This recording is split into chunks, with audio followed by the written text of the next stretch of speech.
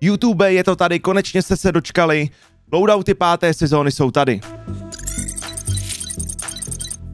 Ahoj, já jsem Marisbák a vítám vás u dnešního videa. Já vím, trvalo mi to celkem dlouho natočit tohleto video, ale vždycky vyšel nějaký update, kde se něco buffnulo, nerfnulo, tak jsem to musel znova oskoušet, ale slibuju ti, že v šesté sezóně, která začíná za 6 dnů, tak v této sezóně vydám dvě videa ohledně loadoutů do 14 dnů od vydání 6. sezóny a pak v druhé polovině 6. sezóny, protože to vždycky vychází takový ten větší update. Pokud se ti video bude líbit, tak určitě dej like, dej subscribe, uděláš mi tím obrovskou radost a hlavně už nepřijdeš o další content, který pro tebe plánu, protože tenhle týden plánu natočit ještě video o aimu, jak trénovat, jak si zlepšit aim, protože pár věcí jsem podstoupil, uh, testoval jsem to na sobě a musím říct, že za pár měsíců jsem se docela zlepšil. Taky nezapomeň dorazit na Twitch, protože na Twitchi streamu dvakrát denně, dopoledne a na večer. Dole v popisku videa budeš mít odkaz na Twitch a budeš mít odkaz i na rozvrh, který pořád upravuju. Co se týče šesté sezóny, tak včera jsme mohli vidět oficiální trailer a v něm se mohli vidět, že v šesté sezóně za týden se nám zpřístupní ve Verdansku metro. Pokud byste chtěli vidět všechny informace ohledně šesté sezóny, nechci na to dělat dvouminutový video, tak se stavte na náš Discord, protože na Discordu máme speciální runku, která se jmenuje Call of Duty Updaty a tam máte všechno vysvětlené, kde budou stanice, uh, nějaký líky šesté sezóny, co bude za zbraně a tak dále a tak dále. Dole v popisku videa najdeš úplně všechno. Já už to nebudu zdržovat a vrhneme se na loadouty páté sezóny.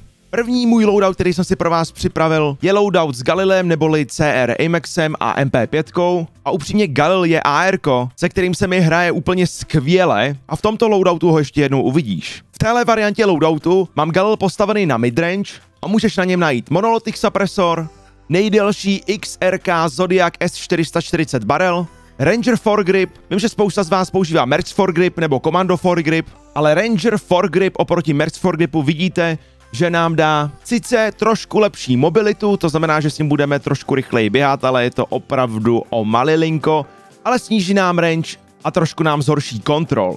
Takže určitě pokud máte Galil postavený jako já na dálku s vlk optikou, tak vám doporučuji tam dát Ranger Foregrip, 45 raný zásobník a s takhle postaveným Galilem budeš vypínat nepřátelé na midrange i dálku, když se naučíš spray pattern, protože mě upřímně se dobře hraje se zbraněma, který mají spray pattern nahoru a doprava.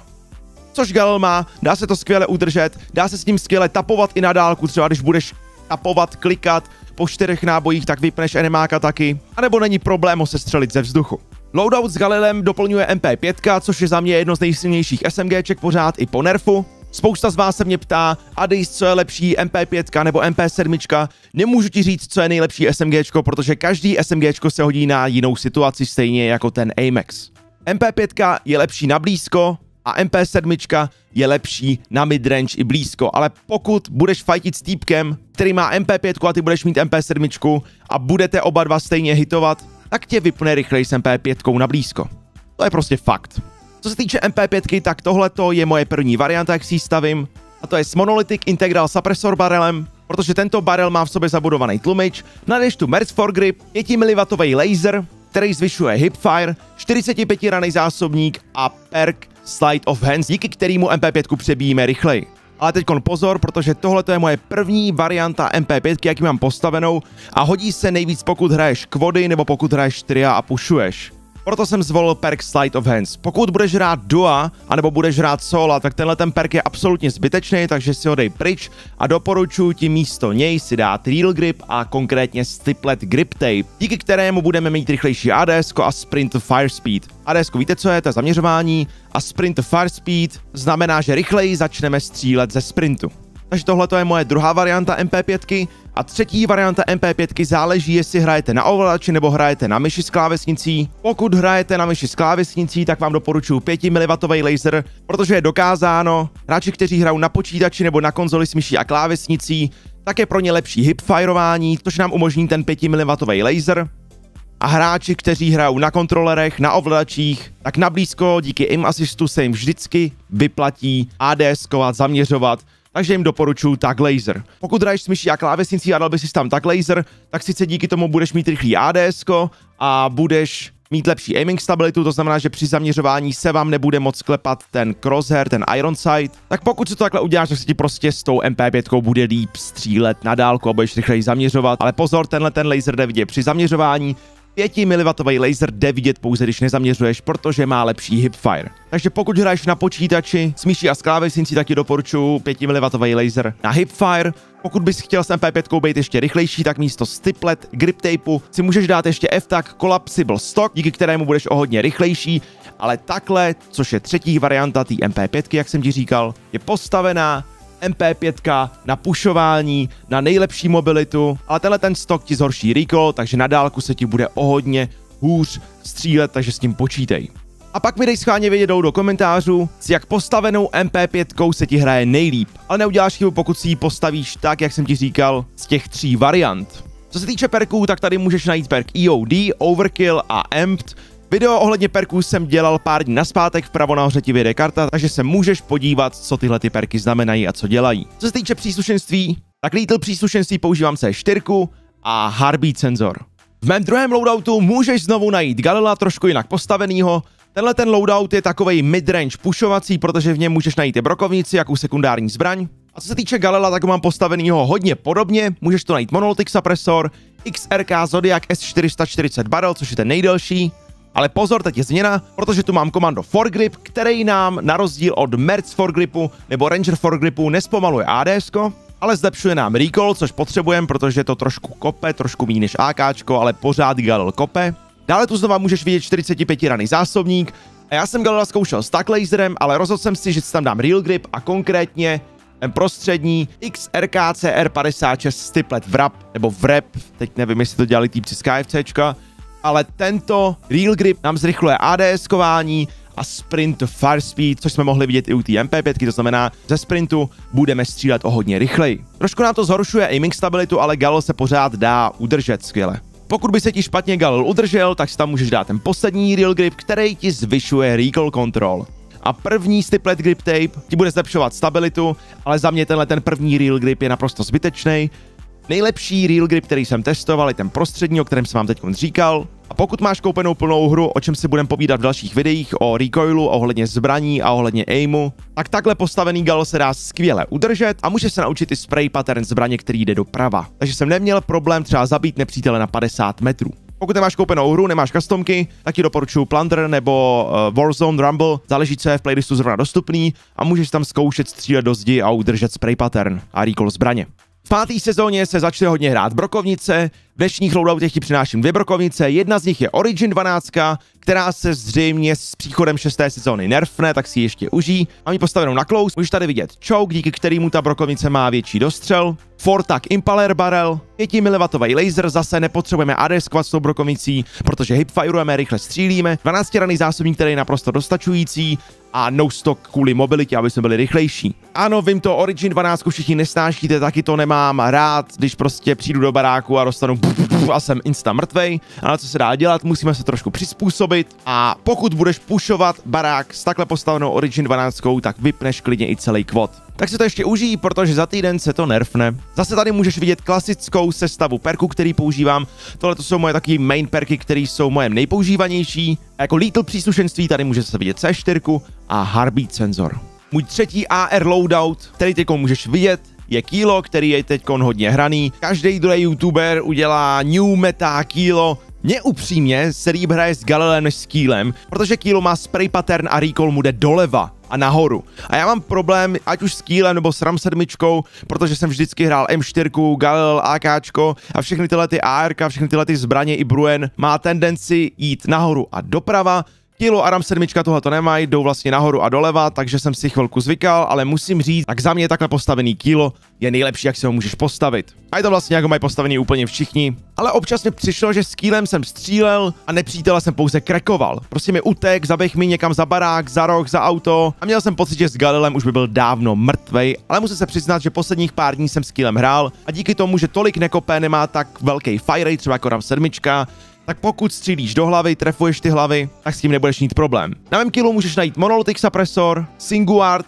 ARM 19,8 barel, což je ten nejdelší, Commando Foregrip, 60 raný zásobník, vlk optiku a tenhle ten blueprint je vlastně první Tracer blueprint, který jsem si kupoval úplně v celých Call of Duty. E, tohleto kýlo vlastně střílí modře, jak můžeš vidět. Je moc hezký, líbí se mi a kupoval jsem si ho s Nikto pakem. První Nikto, který tam byl, tak vlastně byl s tím letím kýlem, já jsem to kýlo nikdy nehrál, Začal jsem ho hrát už pátou sezónu, takže Takhle postavený kýlo je úplně v pohodě a určitě si s ním užiješ spoustu zábavy. Jako sekundární zbraň tady mám MP5, kterou už nemusím představovat, perky zase EOD Overkill Amp, C4 a Heartbeat senzor, nic nového pod sluncem.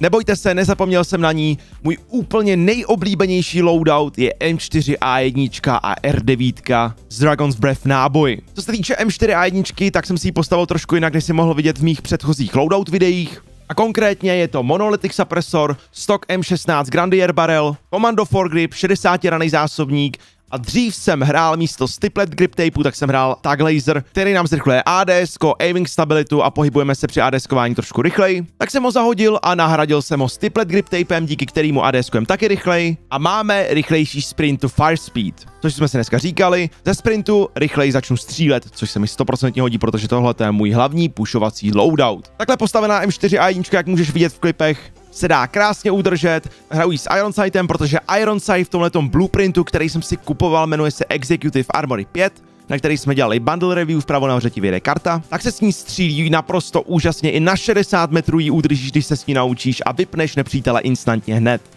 M4A1 mi doplňuje brokovnice, tady konkrétně R9, kterou mám postavenou na close, z Dragon's Breath náboji, což jsou náboje, které nám přibyly v posledním updateu páté sezóny. Konkrétně tenhle ten blueprint byl obsažený v Nikto Farstarter Packu. A já když jsem to viděl, tak jsem se ho hned koupil, protože v tom Packu máte krásně červený skin na Nikta, tuhle tu brokovnici, pak tam je štít a skin na auto a nějaký ještě horn, je to opravdu zábavný. A konkrétně je to tenhle ten skin na auto, ale hlavně, vem si, že jezdíš po Verdansku a tvoji nepřátelé slyší tohle.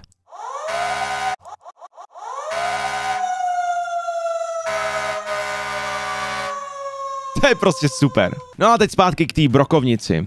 Jak můžeš vidět na brokovnici zase nepoužívám suppressor, protože za mě se to nevyplatí. Můžeš tady vidět choke, fork, tak sentry barrel, 5 mm laser, protože když z této brokovnice střílím, tak nezaměřu, prostě hipfire, takže ji máme postavenou na hipfire.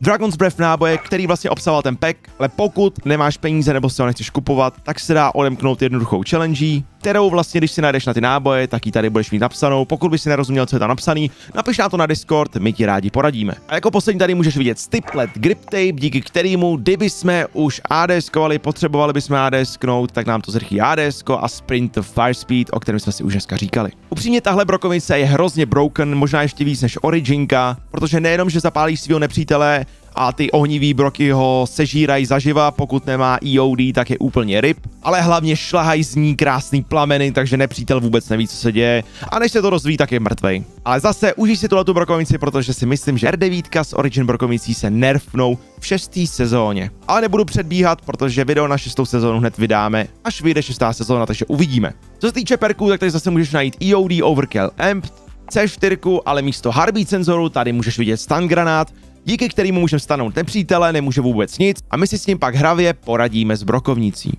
Musím se přiznat, že tenhle ten loadout je můj nejoblíbenější a nejhranější. Užil jsem si s ním spoustu zábavy a můžu ti ho naprosto doporučit.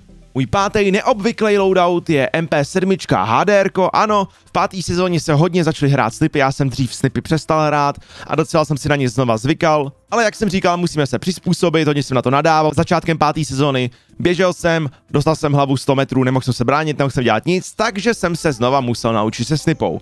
Jedna z těch snip je HDR, ale nebudem předpovídat, protože k HDR jsem si postavil MP7, která je postavená na midrange a skvěle se s ní střílí i na close. Ale jak jsem říkal, pokud nepřítel má MP5, tak se musíš hodně snažit.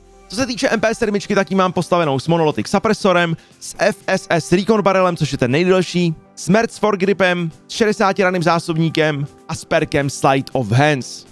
Perk Slide of Hands tady mám i když hraju solo nebo dua, protože si potřebuju vždycky rychle přebít tu MP7, protože to je vlastně v tomhle loadoutu jediná moje zbraň, která je na midrange a blízko, takže ji potřebuji mít furt ready, furt připravenou ke střelbě. MP7 nám doplňuje HDR, který je postavený s Monolithic suppressorem, s 26,9 palcovým HDR pro barelem, s tak laserem, který nám zrychluje ADS, protože já si s HDRkem přijdu takový nemotorný, takový zpomalený, takže chci mít co nejrychlejší ADS. A díky FTAC, Stalker, Scout stocku máme ještě rychlejší ADS. A pak tu máme perk Slide of Hands, díky kterému jako u MP5 rychleji přebíjíme. Já s HDRkem nejsem úplně tak sehraný, tak proto tady mám ten perk Slide of Hands, protože se mi občas stane, že misnu nějaký shot. Pokud by si měl dobrý aim, tak si můžeš místo tady toho perku dát perk Focus, který snižuje flinch, Flint jsme si říkali, co je. Pokud skoupíš a někdo do tebe začne střílet, tak ti nerozhodí aim. Pak se ještě hodně hraje u sniperek perk Presence of Mind, který zvyšuje zadržení dechu až o minutu, ale já se se snipama učím střílet tak, že skoupnu a vystřelím, takže tenhle ten perk je pro mě naprosto zbytečný. Nedělám to a nedoporučuji vám ani dělat, že skoupíte a čekáte minutu se zadrženým dechem, protože pak jste snadný cíl pro nepřítele, takže vám doporučuji buď perk Sight of Hands nebo perk Focus, a nebo místo weapon perku si dát optiku, která je variable zoom scope, takže víc přibližuje, ale já ji zase nepoužívám, nemám to rád, z jednoho prostého důvodu, když zaměřu, tak chci hned vystřelit, nechci zamířit, zmáčknout Ečko, abych si přiblížil a pak vystřelil, protože dávám nepříteli příležitost, aby mě co nejrychleji zabil. Co se týče perků, tak klasika EOD Overkill Amp, C4 a Heartbeat senzor. Jak už jsem říkal, s HDRkem se mi hraje zvláštně, je to taký nemotorný a občas se mi jenom nesmyslně stává i přesto, že HDR dostalo buff, že střelím nepřítele do těla, do horní části a skoro ho ani nekreknu, což nedává absolutně smysl, takže se vždycky snažte trefovat hlavy. A nebo kreknout nepřítele, díky perku M si rychle přehodíte na MP7 a doděláte nepřítele úplně easy. Další loadout, který tady máme, je RAM 7 a AX. RAM 7 mám postavenou na midrange, ne na dálku, a mám ji postavenou tak, abych ji udržel. Můžeš tady najít Monolithic Suppressor, Ford, tak Eclipse Barrel, Není to ten nejdelší barel, protože nejdelší barel nám snižuje movement speed a my RAM 7 nechceme mít postavenou na dálku, protože na dálku máme to AX.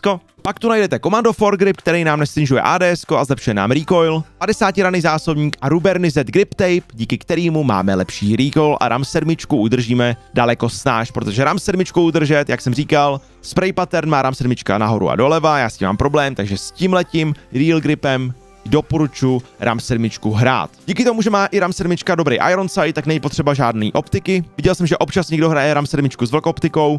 Já s tím mám problém, radši s optikou mám udělaný Galil nebo Kilo a nepotřebuju každou zbraň mít postavenou na midrange a na dálku, takže takhle RAM 7 postavená je úplně v pohodě, schválně si ji vyzkoušej a RAM 7 doplňuje AX, který mám postavený s Monolithic suppressorem, se Singuard Arms Pro barelem, Stack Laserem a se Singuar Arms Assassin stokem, zase který nám snižuje ADS. Ty snipy se snažím postavovat vždycky na ADS, abych vždycky co nejrychleji zamířil a vystřel, zabil nepřítele. Co se týče perku, tak je to stejný jako u HDR, mám tady perk Sight of Hands, díky kterému rychleji přebijím. A často se mě ptáte, Adis, co je lepší HDR, AX, plánuju na to udělat video. A takový hlavní rozdíly, AX mi přijde mobilnější, u AX daleko rychleji zamíříš, co znamená, že má rychlejší ADS, rychleji přebíjíš, takže pokud hraješ kvody nebo tria, doporučuji ti vždycky hrát AX, protože s AX potenciálně daleko rychleji zabiješ nepřátele než s HDRkem. A navíc AX má základní scope, který víc přibližuje. Takže pokud rád střílíš nepřítele na dálku a nechceš mít tu variable zoomovací optiku, protože kdyby si tam měl, tak zbytečně přijdeš o nějaký perk slot, tak ti vždycky doporučím AX i přesto, že musíš trošku nadměřovat. Není to tak hrozný, dá se na to zvyknout. U HDR nadměřovat nemusíš skoro vůbec, jenom o milimetr na dálku. A prostě AX mě baví daleko víc než HDR, ale chtěl jsem vám sem dát i to HDR a občas to taky rád zahraju s tou MP7. Perky ani příslušenství už nemusím zmiňovat, protože se to tady vůbec nemění, ale u dalšího loadoutu, ve kterém mám Grau a MP5, se už perky mění, hned ti řeknu v čem se mění a proč tady v tom loadoutu hraju Grau, který byl hodně nerfnutý.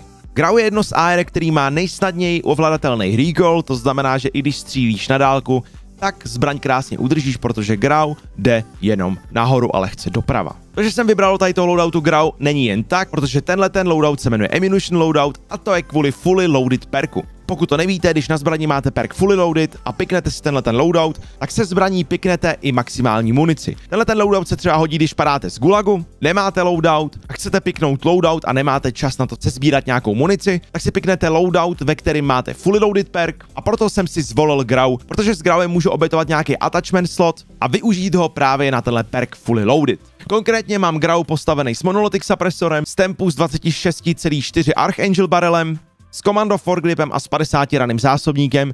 Nehraju 60 raný zásobník kvůli mobilitě. 50 raný zásobník úplně v pohodě stačí, ale můžeš tam klidně vyzkoušet 60 raný zásobník, nemám nic proti tomu. Dřív jsem Grau hrál s laserem díky rychlejšímu ADS, ale musel jsem obětovat nějaký slot právě na fully loaded a takhle postavený Grau i bez laseru se dá skvěle ovládat a skvěle hrát. Grau doplňuje MP5, kterou mám postavenou úplně stejně, ale místo perku Slight Offense mám perk fully loaded. Tenhle ten loadout už mi zachránil několikrát život, protože jsem mohl střílet na midrange a na blízko díky MP5 a měl jsem dostatek nábojů. Co se týče perků, tak se to nezměnilo. EOD Overkill Amped, jako lítl příslušenství C4 a překvapivě Heartbeat senzor. Další speciální loadout je loadout, který se jmenuje Restock Tracer a jmenuje se právě kvůli perkům Restock a Tracer. Tenhle ten loadout pikuju jako druhý loadout, pokud mám třeba M4 a 1 a R9 brokovnici, jak jsme si dneska ukazovali, a chtěl bych pušovat a chtěl bych právě, aby se mi doplňovaly C4 a doplňovaly se mi stun granáty nebo flash granáty, záleží, co si tam dáte, tak si právě piknu tenhle ten loadout, protože při piknutí tady toho loadoutu se mi přepíšou perky, na konkrétně na AOD, Restock a tracker. Restock právě dělá to, že se mi doplňují stun granáty, doplňují se mi C4, což jde vidět vpravo dole, teď to můžeš vidět. A tracker dělá to, jak můžeš zase vidět v klipu, že vidím na zemi nepřátelské stopy červenou barvou. Takže mi to krásně doplní pušovací loadout, sice nebudu mít ghosta, nepřítel mě bude vidět na heartbeat senzoru, ale pokud budu rychlej a budu rychlejší než on, než se stačí podívat na heartbeat senzor, tak ho stanu, hodím mu tam C4, anebo ho zabiju R9. MP5 mám postavenou úplně stejně, můžeš tady vidět, že mám Tracer Pack, protože ho testuju. A tenhle ten Shadow Tracer Pack je moc krásný, jenom je problém, že občas jsem neviděl, kam střílim, takže ho moc nedoporučuji hrát, je hezký, ještě to testuju. Po výstřelu a zasáhnutí kulky vidíte vlastně, uh, ne kulky, střely, pardon, uh, kulky má pes, ale chápete, co tím myslím. Tak se vlastně z té střely kouří a pokud střílíte do nepřítele, který je za kamenem a střílíte do toho kamene, tak vůbec nevidíte nic. Takže tady srpeky moc nedoporučuji, ale whatever, chtěl jsem to vyzkoušet, takže každý si najde to svoje. Co se týče postavení té MP5, tak je to postavený na pušování se Side of Hands Weapon perkem, jak už jsme si říkali, nic nového pod sluncem. Třetí speciální loadout, zase MP5, jmenuje se Restock Spotter. Je to úplně stejný loadout jako předchozí loadout, ale místo tracker perku je tady spotter perk a díky tady tomu perku můžete spotovat nepřátelské C4 a můžete hackovat Claymory a proximity mini. S tímhletím perkem si užijete spoustu zábavy a spoustu killů, protože hacknout někomu C4, on to nebude tušit, půjde na zpátek a zabije ho, tak ho docela dost zmatete a budete mít krásný klip. Zase jak jsem říkal, pokud bys chtěl úplně do detailu vědět, co dělají všechny perky, dělal jsem na to video, dvě videa zpátky, máš video o všech percích, jak fungují. A poslední speciální Ghost Loadout, který obsahuje M4 a 1, což je moje nejoblíbenější AR, a RPG jako sekundární zbraň. Kdybych si Ghosta chtěl piknout jako první loadout, což já nedělám, pikuju ho vždycky jako druhý loadout, pokud chci mít Ghosta, pokud nechci mít nějaký jiný perk, o kterých jsme se v předchozích loadoutech bavili tak tenhle ten loadout je unikátní právě tím Ghost perkem, díky kterému nejdeme vidět na UAVčku a nejdeme vidět na heartbeat senzoru. To znamená, že pokud bych si jako první piknul třeba M4 a 1 s R9, tak vy vidíte, že tady mám overkill, ale pokud si koupím druhý loadout nebo počkám si na druhý loadout a piknu si tady ten loadout, tak se mi přepíšou tyhle ty perky, takže vlastně budu mít Ghosta, ty zbraně, které jsem tady pikoval, se mi hodí na zem, piknu si tyhle ty zbraně, ale ty zbraně si můžu z té země vzít. Konkrétně bych si tady nebral M4 a 1, protože v tom Ghostu ji mám, ale vezmu si jenom tu R9 ze země a Ghost perk mi zůstává, takže můžu pušovat neviditelně a nenápadně. Takže tohle je další speciální poslední můj loadout, který doporučuji, abyste všichni měli. Já doufám, že se ti dnešní video líbilo, pokud ano, dej like, dej mi to vědět, chci nějakou zpětnou vazbu do komentářů a já strašně nemám rád takový ty videa, kde vlastně youtuber vydá New Meta, Kilo R9 a teď prostě celý lobby to hraje. Každá zbraň je svým způsobem nějak dobrá. To, co je dobrý pro mě, nemusí být dobrý pro vás, můžete si to sestavit jinak. Tohleto video je spíš pro lidi, kteří jsou nováčky nebo by chtěli vyzkoušet něco nového. Určitě si vyzkoušíte tyhle ty loadouty, který jsem řekl. Budete mít pousnutý i v růmce loadouty na Discordu a určitě se můžete těšit na další content, co se týče nových zbraní. Chtěl bych udělat třeba nějakou hru, nějaký win, bych chtěl pro vás střídat a na konci bych vám chtěl říct, hele, takhle mám postavenou tu zbraň, anebo bych chtěl dělat statistický videa o zbrani, kde si vlastně rozebereme tu zbraň, protože každá zbraň má dobrý loadout, můžeš si z každý zbraně udělat dobrý loadout jo, a nemusí to být hned meta. Scar se dá udělat dobře na blízko, Scar se dá udělat dobře i na dálku a na tyhle ty videa bych se chtěl zaměřit, takže prosím, berte to trošku objektivně, neberte to tak, že Addis Bug prostě řekl, že R9 je skvělá, že M4 a je skvělá, tak všichni v republice budeme hrát teď R9 s M4. Vyzkoušejte si to, můžete mi dát vědět do komentářů nebo na Discord, jestli, jsem, jestli se vám třeba nějaký attachment hraje líp a tak dále a tak dále, budu za to moc rád. Takže děkuji, že to respektujete, uvidíme se na streamu nebo u dalšího videa, měj se hezky, ahoj.